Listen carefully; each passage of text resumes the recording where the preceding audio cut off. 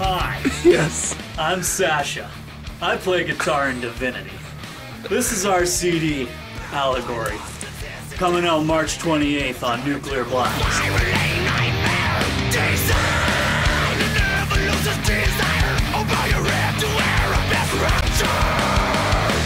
If you like metal, you should get it.